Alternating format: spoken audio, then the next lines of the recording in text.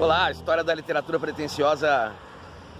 Falando hoje a respeito da produção de texto, o que mudou para o vestibular da Unicamp neste 2020 para janeiro de 2020. Aqui, direto de Barão Geraldo Campinas, campus da Unicamp. Vamos conferir as principais mudanças e o que é importante para fazer um bom texto.